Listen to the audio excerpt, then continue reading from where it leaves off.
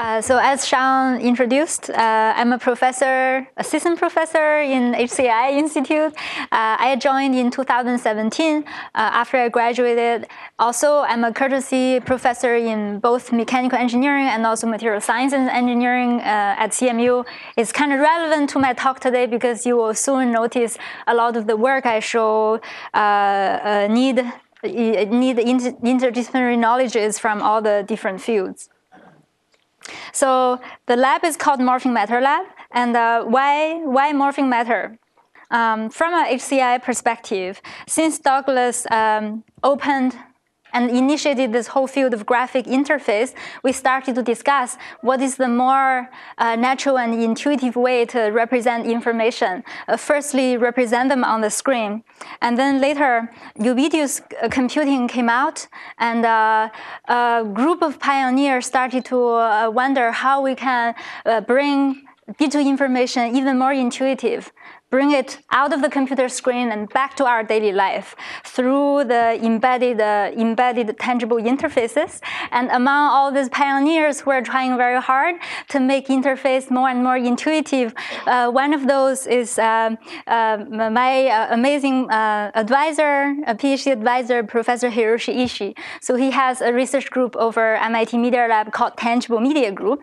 and he has been really leading us to think about what are the uh, possible um, kind of ways to design more tangible and more physical interfaces to weave computation into our daily life. Uh, he and uh, Sean and many other of his PhD students have been worked very actively to bring active objects and dynamic shape-changing interfaces to, uh, to represent information.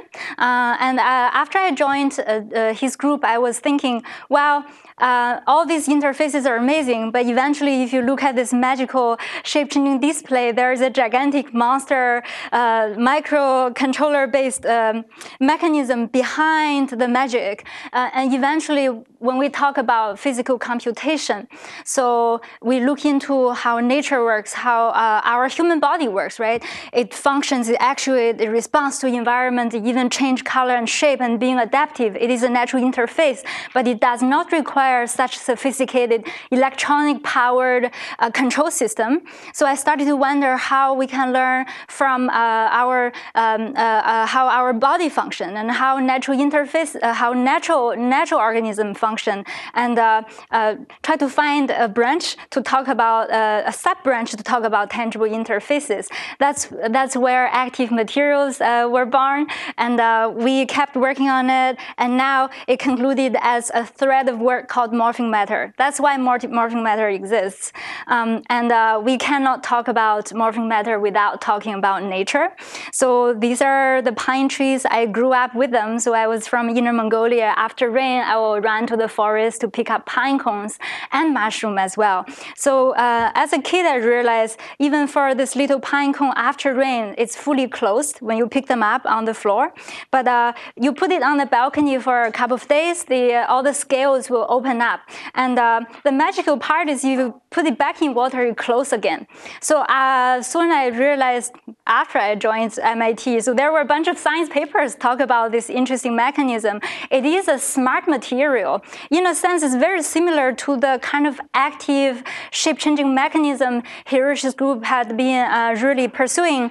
Um, but this is uh, powered by nature. So there's no electronic components, it's completely green, and the, and the transformation behaviors are completely, uh, completely powered by, by the material itself and also the environmental condition. Uh, but it is the interface because the pine cone is responding to the rain and behaving in a certain way for the seed actually dispersal. Uh, uh, in a sense, it's an interface for, uh, for, for the life to survive itself. And I got really fascinated by uh, these kind of natural organisms and started to uh, draw a table and try to summarize all the magical transformations that can happen in nature and powered without using electricity. So you can see it ranges from the very simple bending motion to uh, sophisticated coiling and uh, volumetric expansion and contraction. Again, they are doing all these magical uh, uh, behaviors for, for very different purposes purposes, mostly for survival. Um, and we carefully study those uh, natural organisms and start to develop more synthetic versions of those material. So in our lab, we have a fair heavy emphasis on the material development, uh, mostly inspired by nature.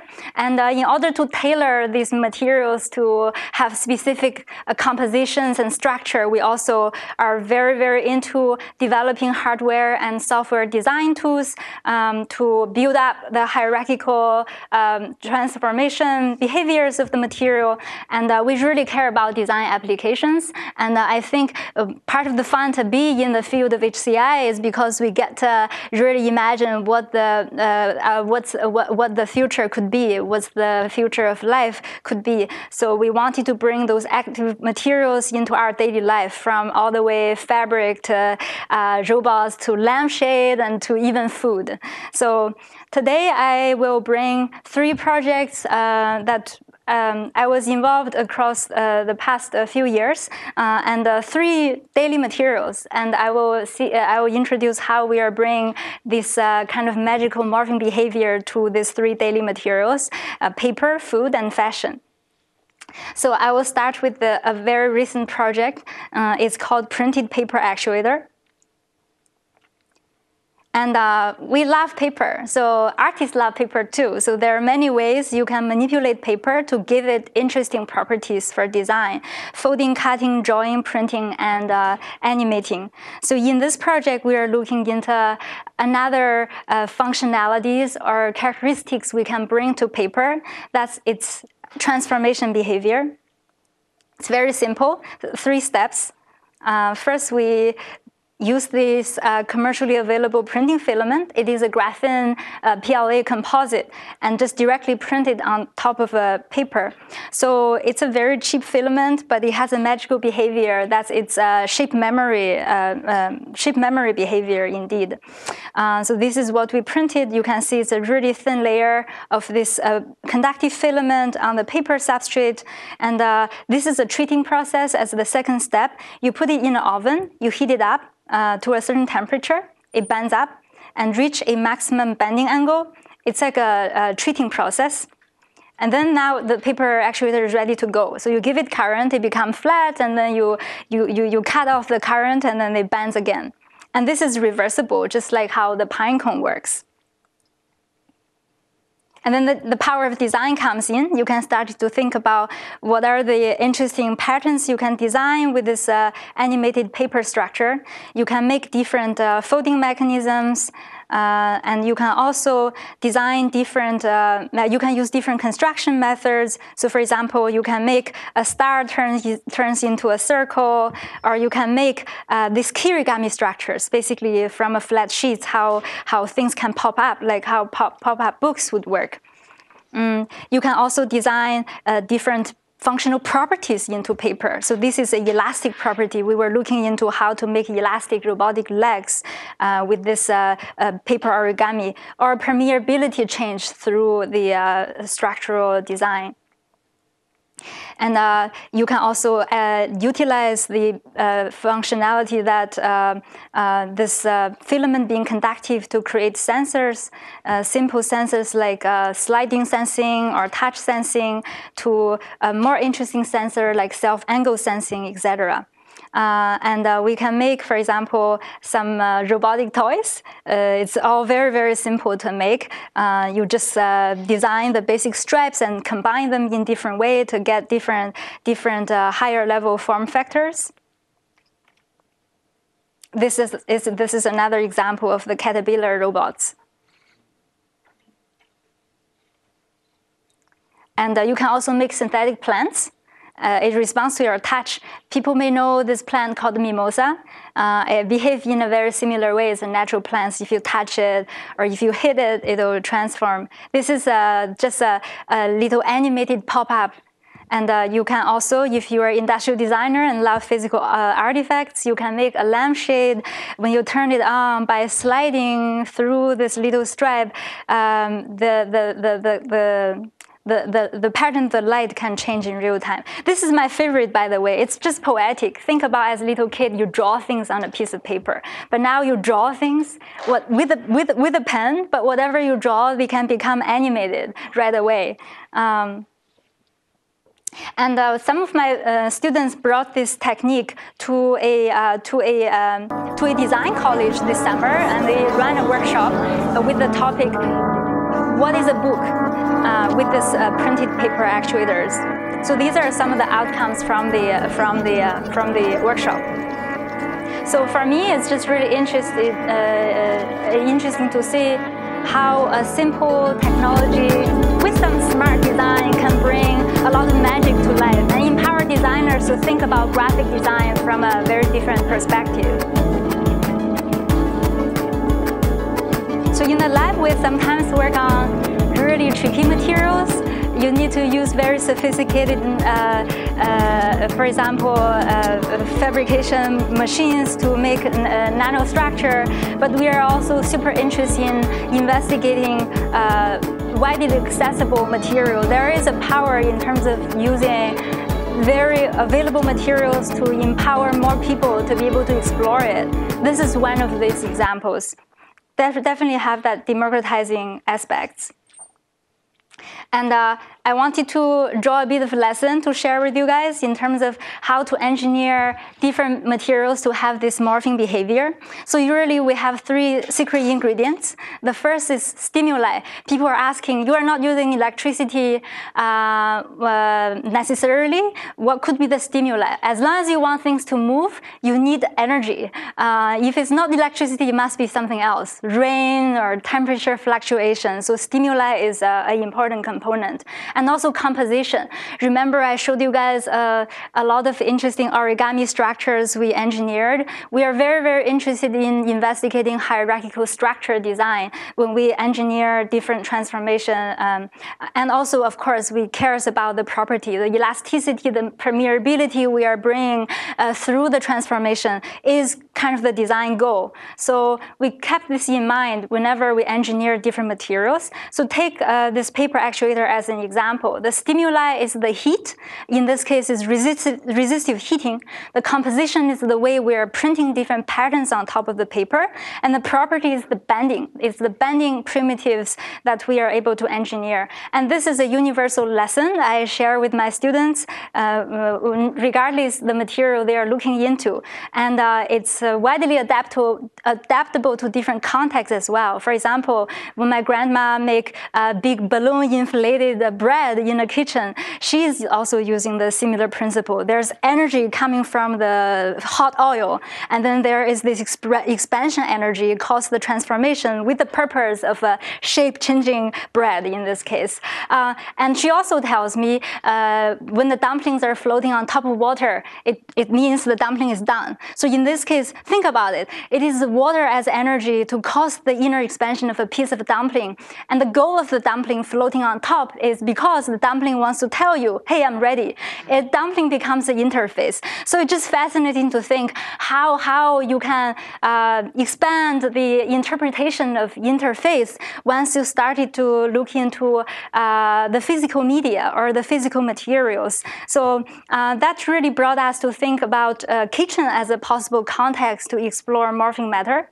Uh, if you think about a kitchen, Mm, we, uh, we have different types of stimuli when you are cooking food, right? You are frying, baking, you are boiling, uh, and uh, we have many, many properties we really care or we wanted to go very geeky to manipulate, including flavors, shape, the crunchiness, the surface texture of your croissant. Uh, and uh, for material scientists, this is a really interesting context, and for interface designer as well. Um, that really brought us uh, actually a bunch of PhDs from both MIT and uh, currently at Carnegie Mellon to cook.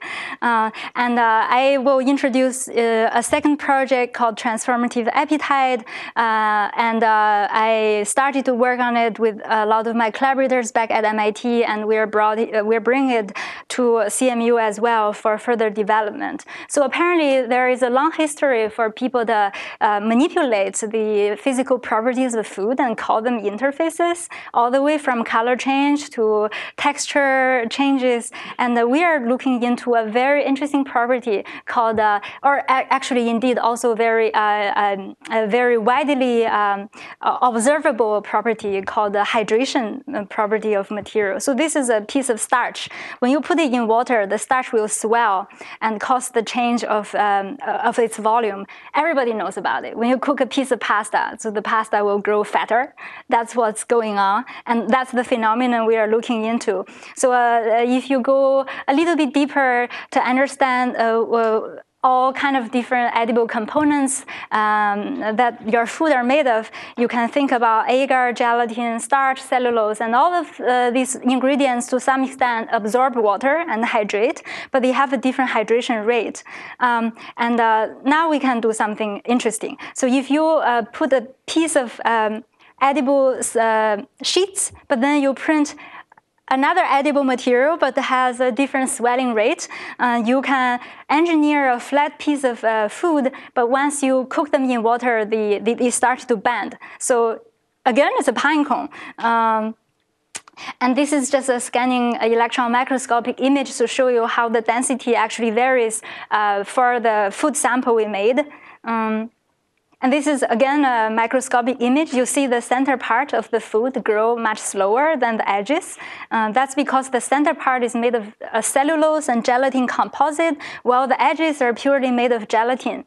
Uh, you can, I, will play this again. So if you pay attention, this, this, the, the center part rises much slower than the edge. This, by the way, is exactly how nature uh, taught us to do. The pine cone can open up in a very specific curvature. It's all because nature grows its composition in a very particular way. Uh, and you can do something fancier. So now if you try to make a more complex composite with the cellulose printed on top of the composite, you can engineer way more complex behavior. For example, you can transform a disk into a potato chip shape once you cook them, and you can go even more sophisticated to control the composition ratio of the cellulose and gelatin to get different, uh, different degrees of saddle, uh, saddle shape in this case and you can make a flat disk turn into a flower as well as you cook it. So I'll explain a little bit of the fabrication process um, behind this project.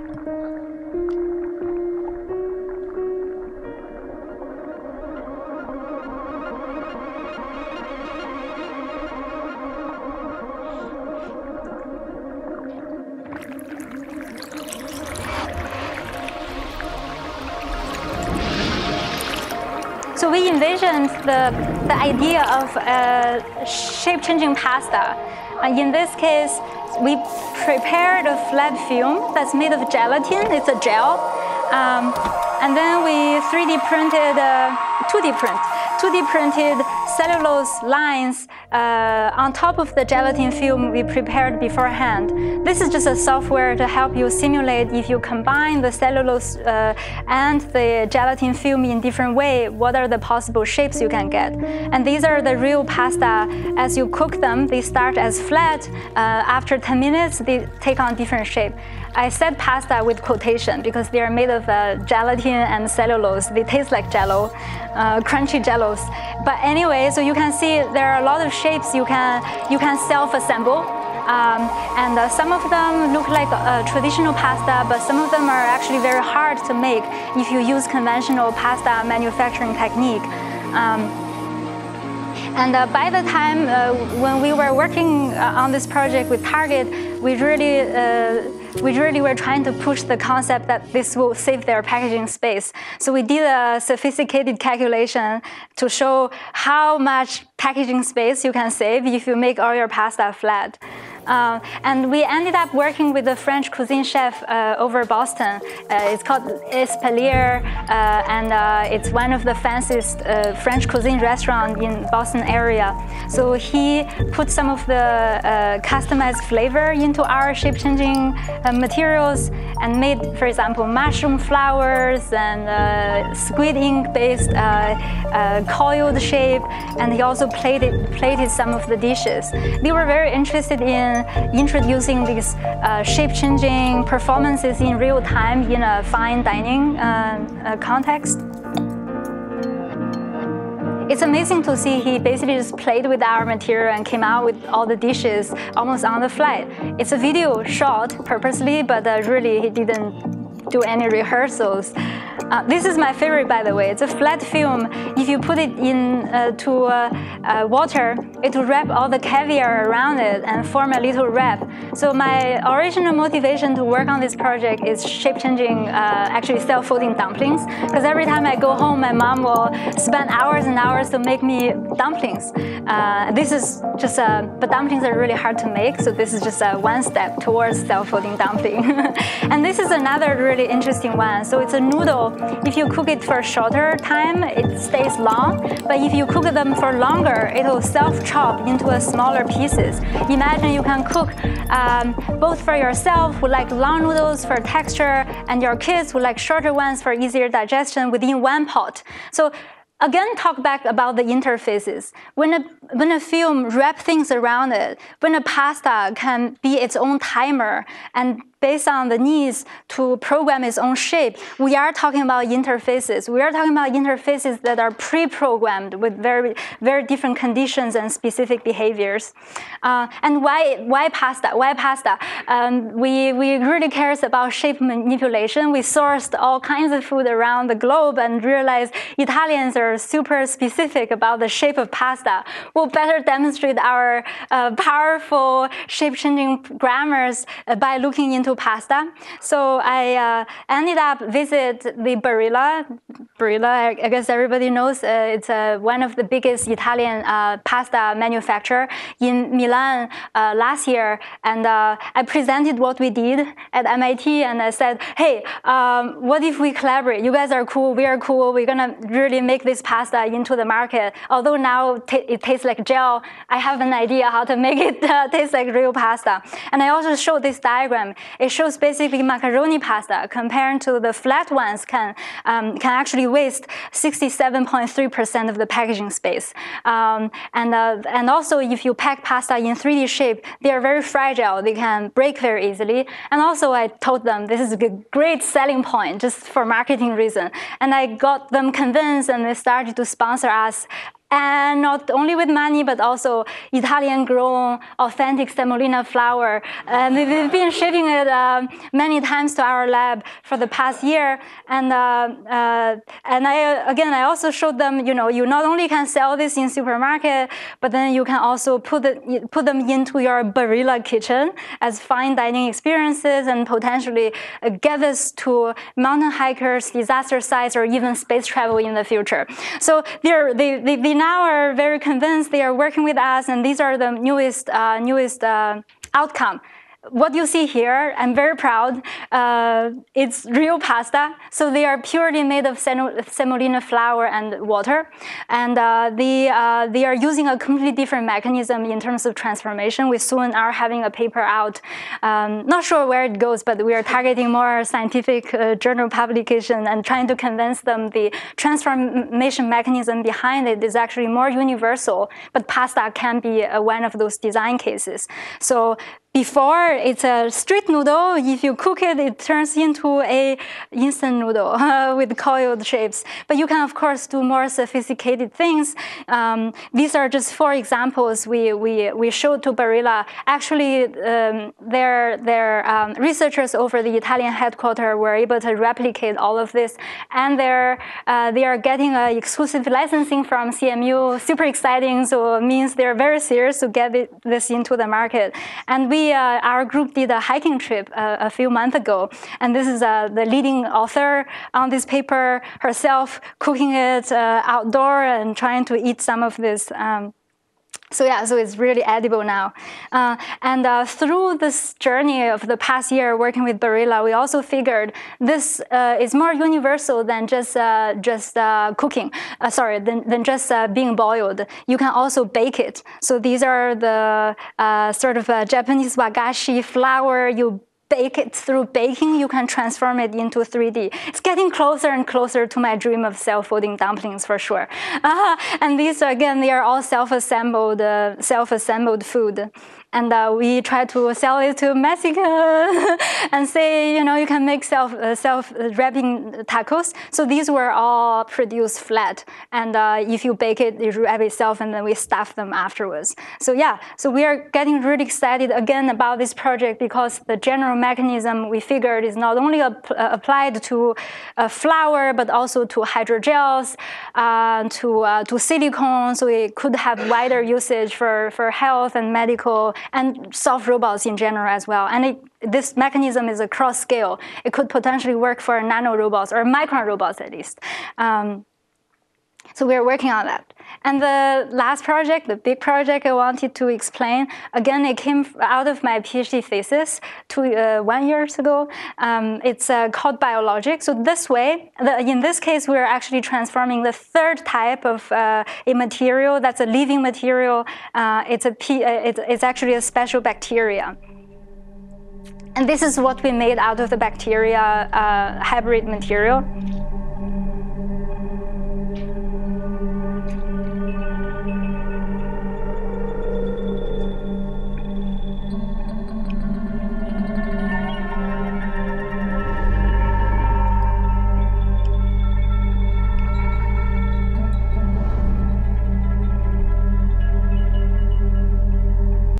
So this sweat responsive garment is secretly powered by this specific bacteria that's only one-tenth the diameter of your, your hair. It's called Bacillus subtilis natto bacteria.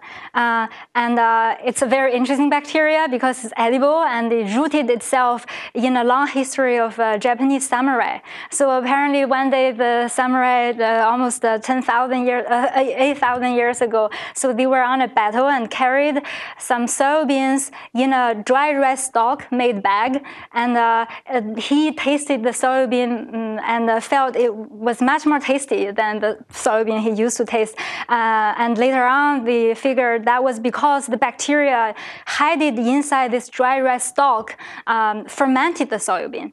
And uh, so, so the, the, the, the, Japanese name of this bacteria actually called dry rice stalk bacteria. The direct translation into English is, uh, yeah, it's natto, it's Bacillus subtilis or natto bacteria. So if you go to Japan nowadays, it's a uh, it's a classic breakfast. You uh, you get this soybean super sticky, uh, and uh, if you put this under a microscope, actually they are full of bacteria like that. This is a microscope image we we uh, we uh, we we were able to capture. So we are leveraging this Asian bacteria for its new function. So we found out this bacteria can be really sensitive to the moisture condition in the environment, expand and contract based on, based on the relative humidity.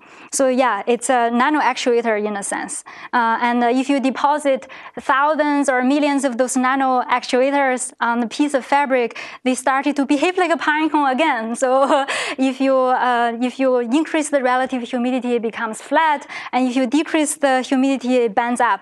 And uh, remember my whole uh, idea of uh, stimuli composition. So here is the composition trick. So if you started to print the bacteria in parallel lines in very different ways, you can manipulate the biohybrid material to have different transformative function. In this case, responding to the relative humidity It's super, super sensitive. You, if you put it on your skin, the little micro moisture environment around your body can already actuate this uh, bacteria. So we ran to New Balance and thought, hey, we're finding a killer app uh, for, uh, for your sports garment. We wanted to make sweat responsive um, uh, garment. New Balance headquarters was uh, about half an hour away drive from uh, MIT.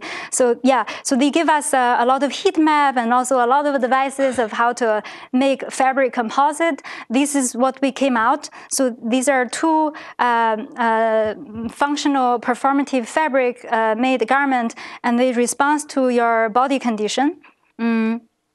So when you are when you are uh, when you are dry uh, and cold, all the scales on the back of your body will close, and uh, when you get sweaty and hot, uh, all the flaps will open up. It's self-tunable. Again, it's a it's an interface, and there is a computational loop, but it's happening within the material. It understands the environment. In this case, your body condition, and try to tune things in real time and response in real time. Uh, it's just been really fascinating to think about how how you can interpret the whole idea of action and reaction in an interface loop uh, from a material perspective. This is a close shot of how these uh, scales actually look like when your body is sweaty. Um, and uh, this is the process of how we prepared how we prepared the bacteria. Um, and uh, I, when I worked on this project, I was always excited by the idea that we are making actuators, but we are making actuators in a wet lab. We're growing them uh, instead of, you know, buying electromagnetic motors in the market or ask Shenzhen to customize the, the stuff for us. And one actuator can grow into a billion overnight. So it came uh, as a free energy. Uh, this is just atomic force microscope to image how the bacteria is changing in its volume as I'm blowing on top of it. I'm using a straw blowing, a breathing on, on the bacteria as, it, as you can observe the transformation of it.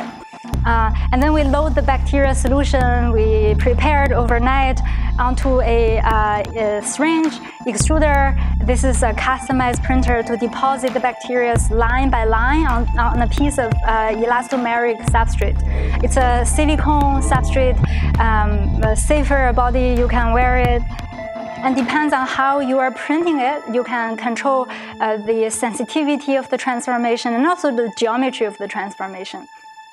So we ended up working with uh, two dancers from Boston Ballet Company, uh, and these were just the uh, a dance piece that the, uh, the, they helped us to shoot uh, and demonstrate how the bacteria behave. So here we actually integrate the lesson we learned from New Balance.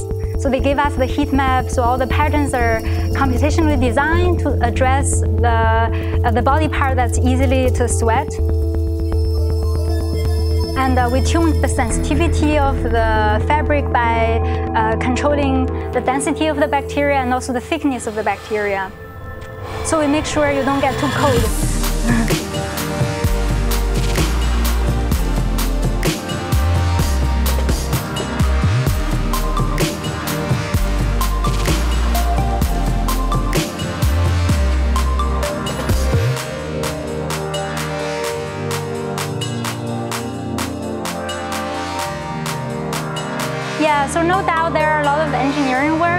and also there are a lot of uh, back and forth communication between the fashion designer who designed the garment and also the bioengineer collaborator who are, who are raising the cell. Uh, but in general, I think it's a really great lesson to see how the merging of disciplines can actually inspire both sides. So for example, when we started to work with the dancers, the, uh, they were all really professional dancers at that point, um, but they still said they were so inspired by the fact that they are carrying living uh, things on their back and started to almost uh, create their own dance movement. And uh, we were very inspired by their comments and decided to make an art exhibition called Dancing with Billions of Bacteria. Uh, and you can see their expressive motions are tailored almost to, to, to living, to, to the fact that you know some things are living. So these exhibitions were curated uh, for the two sides of uh, almost uh, world view uh, or the view of making, so the made and the born world. Uh, these are the sculpt uh, sculptures we made for the exhibition and uh, a fun video to document the exhibition. You will see my advisor Hiroshi in this video too.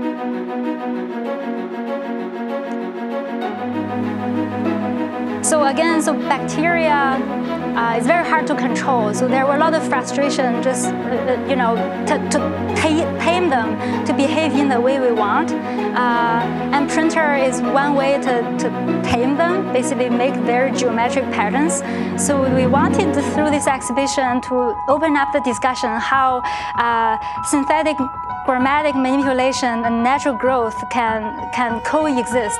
So here you see all those patterns are very precisely printed. So they behave exactly as how we predicted in our software. Uh, but then on the other side of this exhibition, these are naturally grown patterns and bacteria got to express the way they want. Uh, so there is a, a balance of beauty in that as well and even the sculpture. It's a precisely wired sculptured frame with this organic bacteria transformed in the way they wanted at the back. And we also invited the dancers for the opening event. So they did a live performance. They were not sweating because it was only three minutes. So we have steamers on the side, uh, shoots to their body and make them transform. Yeah, it was a lot of fun.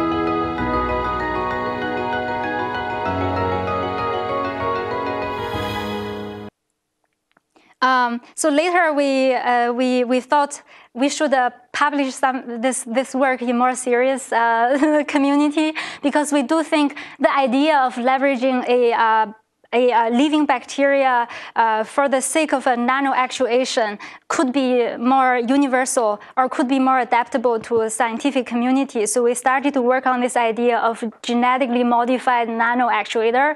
If you use a living bacteria, you can genetically uh, engineer the DNA to put multifunctionality into the bacteria. For example, we made a bacteria that could actuate as well as glow, and both glowing and also actuation respond to uh, the moisture. Um, it was published eventually at the Science Advances. Um, so the idea is you can, you can, yeah, again, so you can make a, a synthetic material, biohybrid material that can glow more and more intensively as it actuates in response to uh, the increase in moisture. So this is the shoe we made. Now the shoe can not only open up to get rid of your sweat, but also it glow as you are running in dark. Uh, we, uh, yeah, this is a close shot of the glowing bacteria actuator. We uh, did an exhibition later on also at Centre Pompidou in Paris, just to show uh, a glowing sculpture. And uh, um, since I'm in the School of Computer Science, and since I am hired by a School of Computer Science nowadays, uh, after I left Media Lab, I really wanted to ask the question of why computer science, and also more and more of my students at CMU are into the whole idea of computation behind the physical materials we're manipulating. So I just wanted to quickly give a few examples of the recent work uh, we are doing, which integrate more of a CS perspective. Think about a piece of flower. We wanted to morph the flower on the left hand to uh, the flower on the right hand. So it's a, basically a flat piece uh, that can self-assemble into a rose. Uh, it's uh, intuitively uh, feasible, but uh, it's getting really hard for me to compute, even as an experienced morpher. and this turns out to be the layers and also the specific angles you need to program into each hinge and also each petal that are that are that, that are going outwards. We started to see the necessity of developing more sophisticated design tools for the kind of materials we are interested in and the kind of morphing behaviors we're interested in. Thinking if you wanted to, you know, self-assemble this classic Stanford bunny, uh, what is the inverse uh, computational pipeline to even to to even uh, design the flat shape to have it self uh, fold back into a Stanford bunny. So this is a tool that we developed and uh, we published this work already. So if you guys are interested in, uh, you mean uh, replicating it, uh, it's actually quite, quite fun because the, um, the tool is compatible with MakerBot. you can literally do this in your lab um, and also design your own shapes as well. Um, but uh, not only origami, we are also interested in double curvature shapes, basically those smooth, more organic shapes, and they are getting harder computationally. For example, this chair surface, we wanted to morph a flat piece into a self-assembled organic chair surface. Um, by the way, the motivation is we want to sell this to IKEA. Uh, imagine the furniture, they, they save billions of dollars uh, by making flat pack.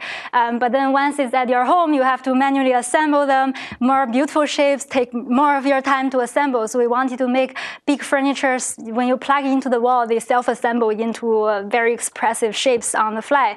So, but in order to make more organic shapes, we need to think about what, uh, what's the inverse, uh, inverse computational algorithms to enable this to happen. So this is one of the example we published in UIST last year, 2018. Uh, um, basically, you can make each beam shrink in a very specific ratio, um, and uh, then you can back calculate the desired 3D shape you will get. And these tools are all tailored to uh, the final um, print to path. And uh, what about an armor? And you can again also back calculate what is the best uh, desired bending angle or shrinkage ratio for each beam in order to get the final shape you want. So this is the tool behind, behind uh, what I just showed as organic shapes. Uh, you want a leaf, and uh, then you can input the shape of the leaf. So the software will help you to compute all the shrink shrinkage ratio needed for each beam and turn it into print toolpath and you can, um, you can export the toolpath and uh, eventually print it out as a flat piece. If you put it in water, it should, it should morph uh, as uh, what you inputted at the very beginning from the software. So reality is always harder than uh, the imagination.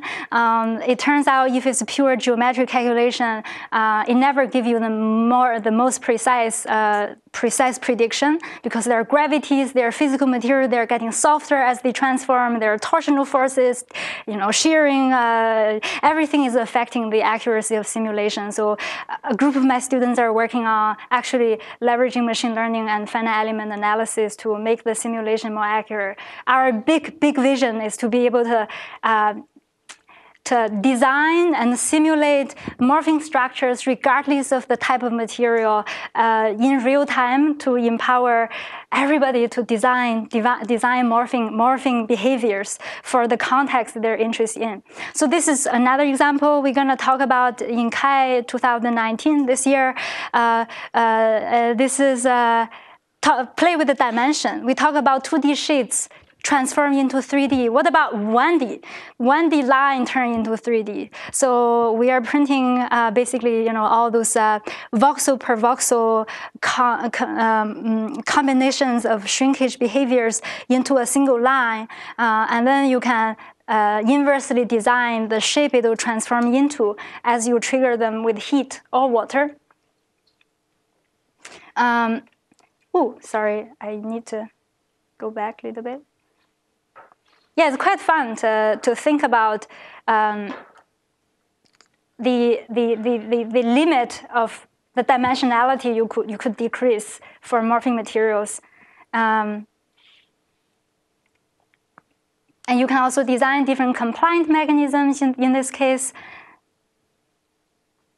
Once you transform them into different shapes, you can start to play with them, and it becomes little tools and uh, this is almost at the end of my talk. So the possibilities are limited, uh, unlimited. I hope at least that's, that's one lesson I, I, I hope I managed to share.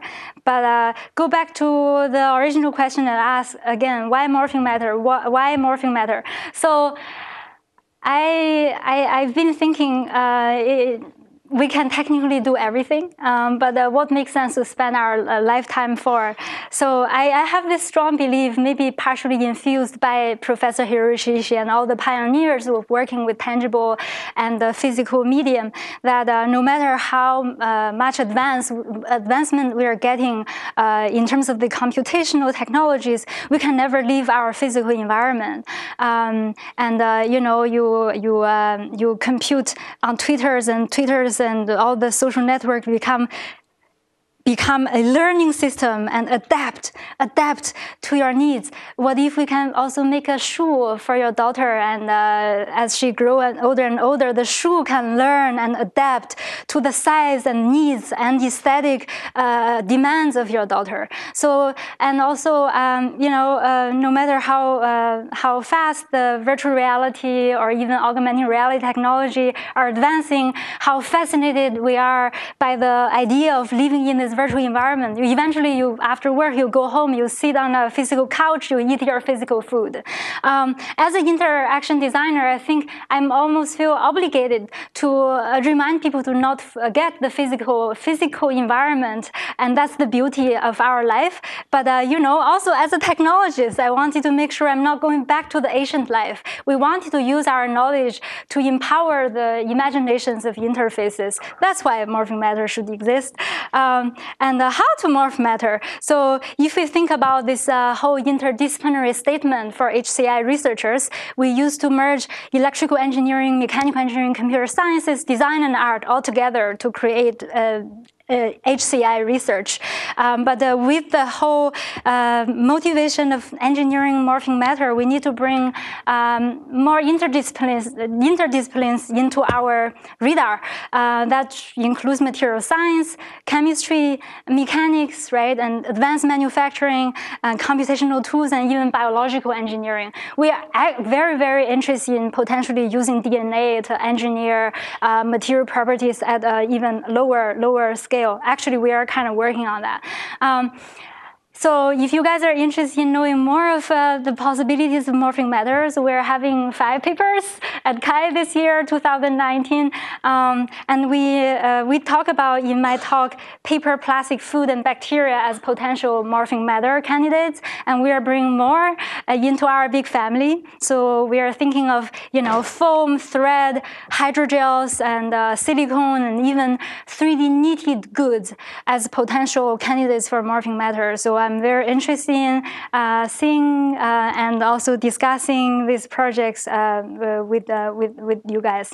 And I wanted to end my talk with this inspiring um, statement from actually Leonardo da Vinci. So in order to make pure creations that merge technology and also your imagination, um, it's important to think about the integration of artificial and natural world, art and science, reality and fantasy, as well well as the experiences and imagination. And uh, I appreciate everybody's time to be here. And this is my amazing team is growing very rapidly every day. I feel I'm overwhelmed by their creativity. Um, and uh, yeah, you guys are welcome to visit us. It's uh, in Pittsburgh. Thank you.